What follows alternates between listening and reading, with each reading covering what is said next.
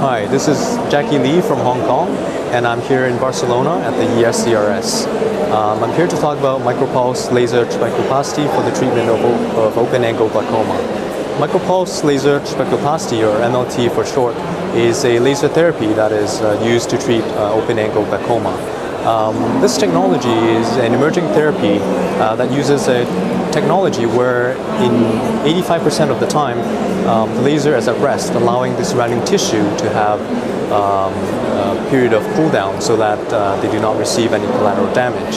Uh, in Hong Kong, we have so far treated 48 patients with this laser, and we have found that uh, in over 75% of these patients, uh, they do respond with an intraocular pressure reduction of more than 20%. And at six months, we found that their intraocular pressure reductions are around 20%, and uh, their medication requirements have also gone down by 21%. Uh, so far, we have not experienced any adverse events uh, with this laser. Uh, the majority of patients do tolerate this laser quite well. Um, they do not experience any corneal edema or intraocular pressure spikes, and only around 75% of these patients uh, have a mild UVI, uveitis uh, which uh, self-subsides.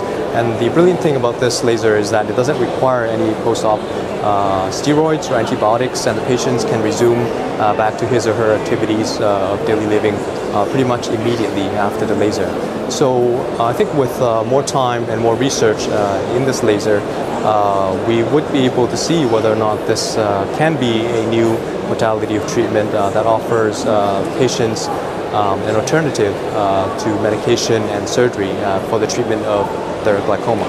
thank you very much.